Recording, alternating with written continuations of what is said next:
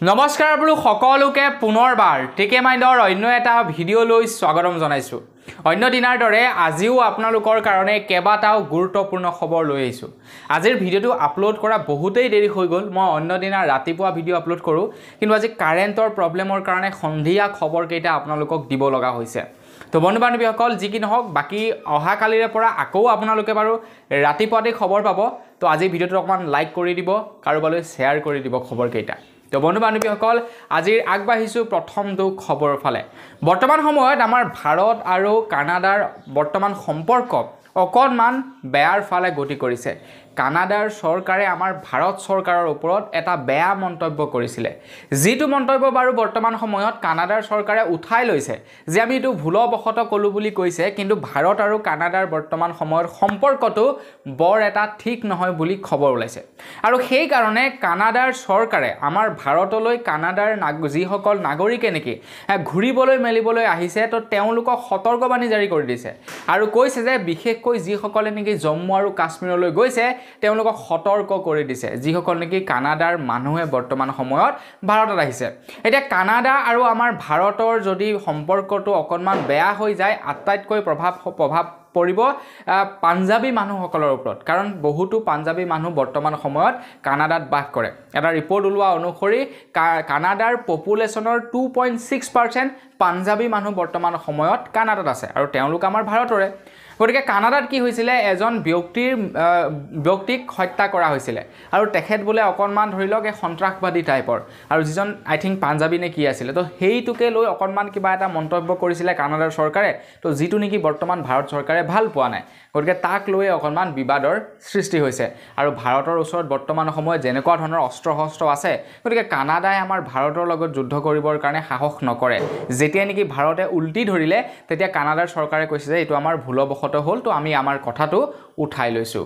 আগবাঢ়িছোঁ ইয়াৰ পাছৰটো খবৰ ফালে। ইয়াৰ পাছৰ খবৰটো ওলাইছে অমৃত বৃক্ষ আন্দোলনৰ ওপৰত। অমৃত বৃক্ষ আন্দোলন গ'ল। আপোনালোকে বাৰু ফটো আপলোড কৰিলে নে নাই কৰা কমেণ্ট এটা কৰি জনাব। যোৱাকালিলৈকে লাষ্ট ডেট আছিলে আজি বাৰু ডেট নাই কিন্তু আপোনালোকক এটা খবৰ এইখিনিতে জনাই থৈ যাওঁ। অসম চৰকাৰৰ ফালৰ পৰা জনাইছে যে আপোনালোকে যদিহে হোৱাটছআপত ফৰৱাৰ্ড কৰা ফটো আপোনালোকে আপলোড কৰিছিলে তেন্তে আপোনালোকৰ ফটো ৰিজেক্ট হ'ব পাৰে বুলি জনাইছে।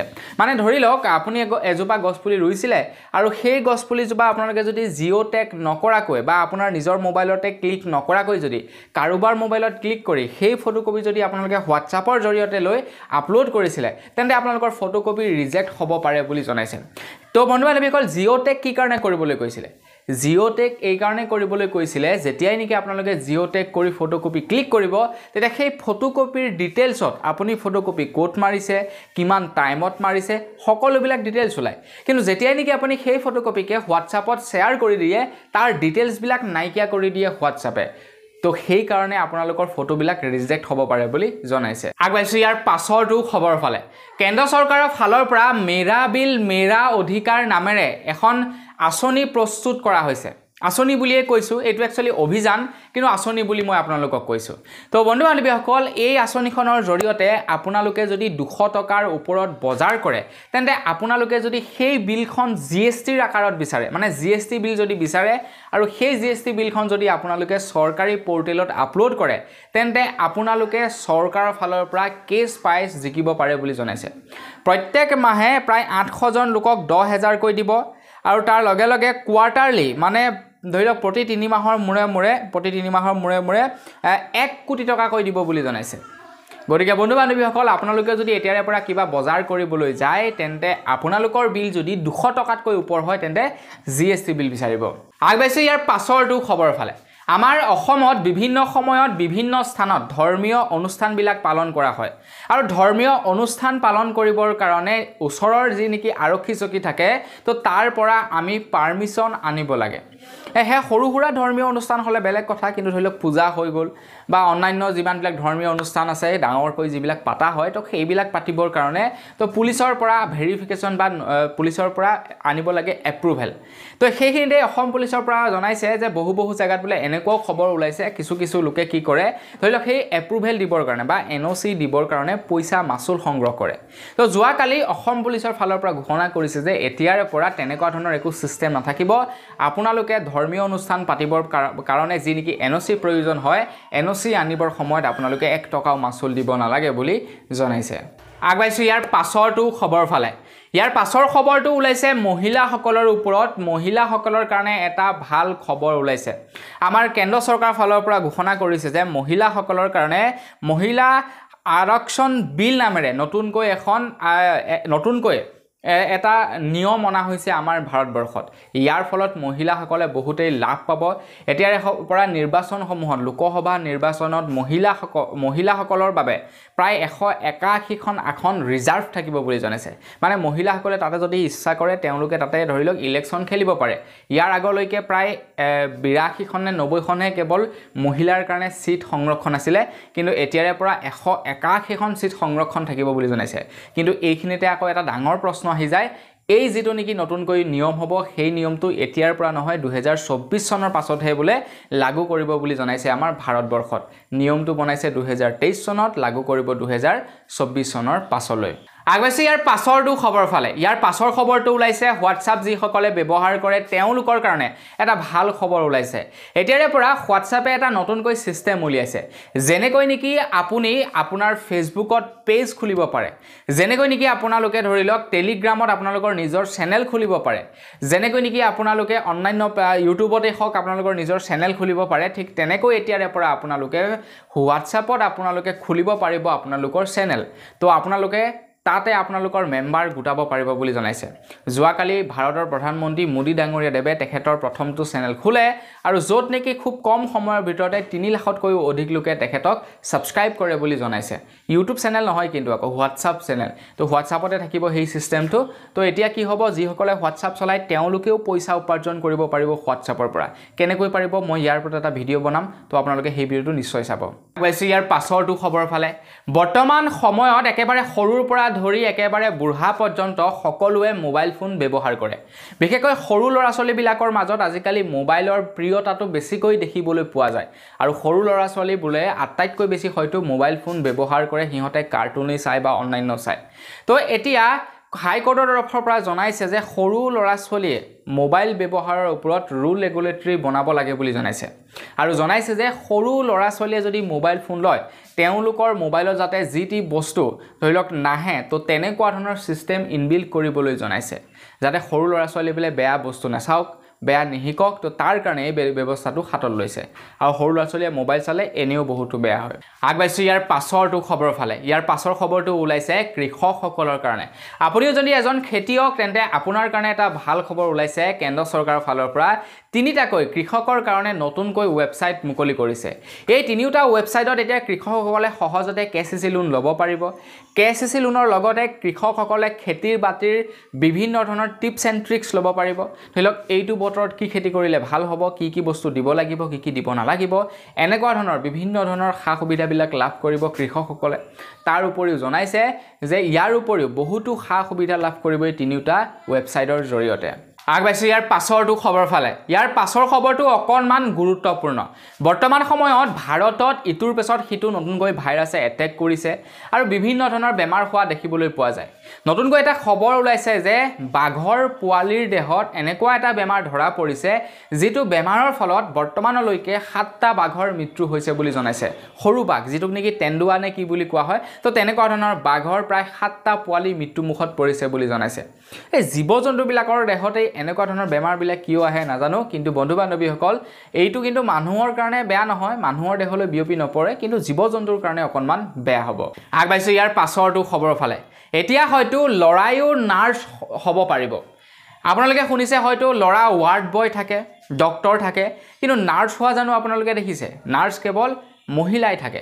কিন্তু দিল্লী হাইকোৰ্টে কৈছে যে যদিহে ছোৱালীয়ে যদিহে ছোৱালীয়ে ধৰি লওক সীমাত গৈ দেশৰ কাৰণে কাম কৰিব পাৰে আৰক্ষীৰ জোৱানত যদি ছোৱালীয়ে নিযুক্তি হ'ব পাৰে তেওঁলোকে যদি দুশ্মনৰ লগত ধৰি লওক ফাইট কৰিব পাৰে তেনেহ'লে ল'ৰাই কিয় নাৰ্ছৰ কাম কৰিব নোৱাৰিব বুলি দিল্লী হাইকোৰ্টে জনাইছে?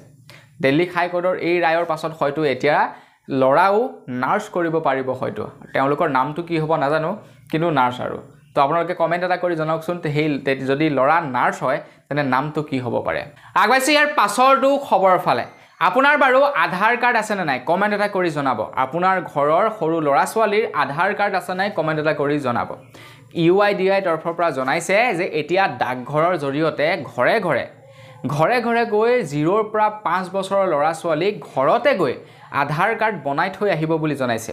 এই নিয়মটো বাৰু ওলোৱা বহুদিনেই হৈ গ'ল। মই কেইবাবাৰো এপ্লাই কৰিলোঁ এতিয়ালৈকে আমাৰ ঘৰলৈ অহা নাই ডাকঘৰৰ পৰা মানুহ। কিন্তু এতিয়া ইউ আই ডি এৰ তৰফৰ পৰা কাঢ়া নিৰ্দেশনা জাৰি কৰি দিছে যে ডাকঘৰৰ মানুহে আহি ঘৰতে আধাৰ কাৰ্ড বনাবহি লাগিব। আগুৱাইছোঁ ইয়াৰ পাছৰটো খবৰৰ ফালে। আমাৰ ভাৰতত এতিয়া বোলে নতুনকৈ আৰু তেইছখন সৈনিক স্কুল খোলা হ'ব বুলি জনাইছে। কেন্দ্ৰ চৰকাৰৰ পৰা জনোৱা অনুসৰি আমাৰ ভাৰতবৰ্ষত নতুনকৈ পি পি পি মডেলত নতুনকৈ তেইছখন সৈনিক স্কুল খোলা হ'ব বুলি জনাইছে। আৰু য'ত নেকি ল'ৰা ছোৱালীবিলাকে পঢ়িব পাৰিব অকল ল'ৰাই যে পঢ়িব পাৰিব সেইটো নহয় ল'ৰা ছোৱালী সকলোৱে পঢ়িব পাৰিব। তো বন্ধু বান্ধৱীসকল এতিয়া আমাৰ অসমত খোলে নে নোখোলে সেইটোৰ বিষয়ে কিন্তু ক'ব নোৱাৰিম। আমাৰ কেন্দ্ৰ চৰকাৰৰ লক্ষ্য হ'ল অনাগত দিনত আমাৰ ভাৰতবৰ্ষত নতুনকৈ এশখন নতুনকৈ এশখন সৈনিক স্কুল খুলিব বুলি জনাইছে। এতিয়া আমাৰ অসমত হয়তো নাই চাগে তো আমাৰ অসমতো হ'ব চাগে। বাহিৰততো আছে প্ৰায়বিলাক ষ্টেটতে আছে সৈনিক স্কুল কিন্তু আমাৰ অসমত হয়তো নাই। গতিকে আমাৰ অসমতো হয়তো এতিয়া সৈনিক স্কুল খোল খাব পাৰে অনাগত কিছু বছৰৰ পাছত। আগবাঢ়িছোঁ ইয়াৰ পাছৰটো খবৰৰ ফালে। এইবাৰ পূজাত চাইনিজ বস্তুবিলাকৰ দাম হয়তো বৃদ্ধি পাব পাৰে। মানে সৰু ল'ৰা ছোৱালীবিলাকে যিবিলাক নেকি ধৰি লওক মোবাইল ফোন বা যিবিলাক নেকি বস্তু ব্যৱহাৰ কৰে পূজাত যিবিলাক বস্তু কিনে তো সেইবিলাকৰ বস্তু হয়তো এইবাৰ দাম বৃদ্ধি হ'ব পাৰে। পূজা আহি আছে পূজা অহাৰ লগে লগে চাইনিজ বস্তুৰ বস্তুৱে গোটেই বজাৰখন ভৰি পৰে। আৰু ল'ৰা ছোৱালীয়ে সেইবিলাক ল'বলৈও পচন্দ কৰে কাৰণ আমিও যেতিয়া সৰু আছিলোঁ তেতিয়া আমিও লওঁ বন্ধুক লওঁ ইটো লওঁ সিটো লওঁ। গতিকে সেইবিলাকতো আমাৰ ভাৰতত নবনায় সেইবিলাক প্ৰায়বিলাক চাইনাতে মেনুফেকচাৰ কৰা হয়। এতিয়া কেন্দ্ৰ চৰকাৰৰ ফালৰ পৰা পূজাৰ আগে আগে এটা বিশেষ পদক্ষেপ হাতত লৈছে। চাইনাৰ পৰা যিবিলাক নেকি সামগ্ৰী আহে সেইবিলাকত টেন পাৰ্চেণ্ট কাষ্টম ডিউটি বঢ়াই দিছে।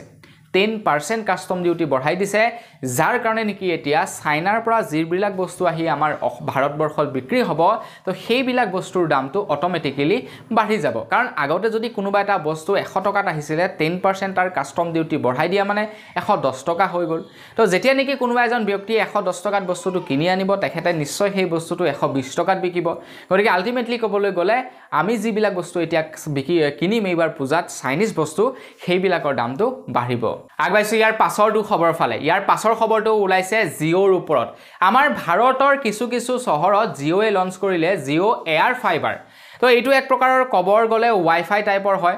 তো আপোনাৰ ঘৰত যদি ধৰি লওক নেটৱৰ্ক ভাল নাপায় জিঅ'ৰ তো তেন্তে আপোনালোকে জিঅ'ৰ এই এয়াৰ ফাইবাৰ ল'ব পাৰে আৰু আপুনি হাই স্পীড ইণ্টাৰনেট লাভ কৰিব বুলি জনাইছে।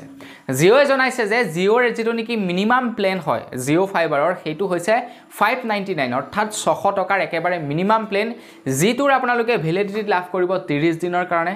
আৰু আটাইতকৈ ইণ্টাৰেষ্টিং কথাটো হৈ গ'ল যে ত্ৰিছ G B P S internet আপোনালোকে লাভ কৰিব আৰু আনলিমিটেড ডাটা হ'ব।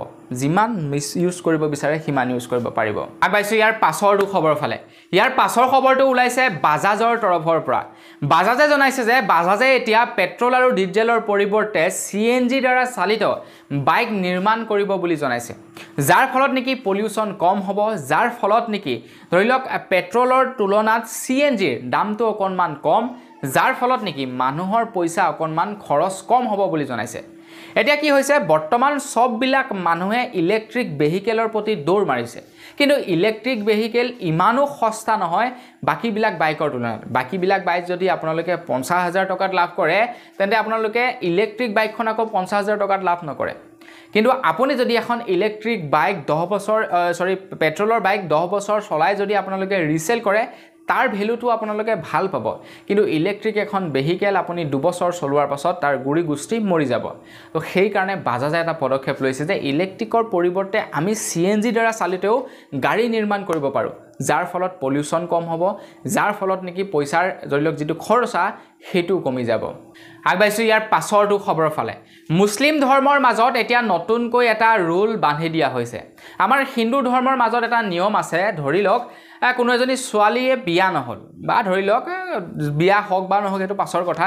ধৰি লওক কোনো এজনী ছোৱালীয়ে দেউতাকৰ প্ৰত্যেক সম্পত্তিৰ আধা ভাগ ল'ব পাৰে মানে ক্লেইম কৰিব পাৰে। এইটো এটা ৰুল আছে। ধৰি লওক ল'ৰাই যিটো অংশীদাৰ পায় সেইটো ছোৱালীয়েও অংশীদাৰ পায় দেউতাকৰ সম্পত্তিৰ। কিন্তু মুছলিম ধৰ্মৰ মাজত সেইটো নাই বুলি এটা খবৰ ওলাইছে যিটো অনুসৰি নেকি ধৰি লওক ছোৱালীয়ে দেউতাকৰ সম্পত্তিৰ ভাগ নাপায় মুছলিম ধৰ্মৰ মাজত। কিন্তু এতিয়া জনাইছে কেন্দ্ৰ চৰকাৰৰ ফালৰ পৰা জনোৱা হৈছে এনেকুৱা এটা নিয়ম বনাব যিটো নিয়মৰ জৰিয়তে নেকি এতিয়া মুছলিম ছোৱালীয়েও দেউতাকৰ সম্পত্তিৰ ভাগ ল'ব পাৰিব বুলি জনাইছে। আপুনি বাৰু কি ধৰ্মৰ হিন্দু নে মুছলিম? কমেণ্ট এটা কৰি জনাব। আগুৱাইছোঁ ইয়াৰ পাছৰটো খবৰ ফালে। ইয়াৰ পাছৰ খবৰটো ওলাইছে ঝাৰখণ্ডৰ পৰা। খবৰ ওলাইছে যে ঝাৰখণ্ডৰ চৰকাৰে এতিয়া এটা নতুনকৈ নিয়ম হাতত লৈছে এটা নিয়ম নতুনকৈ পদক্ষেপ হাতত লৈছে। ঝাৰখণ্ডৰ চৰকাৰে ঝাৰখণ্ড আৰু বিহাৰৰ দুয়োখন চৰকাৰে লৈছে এইটো সিদ্ধান্ত।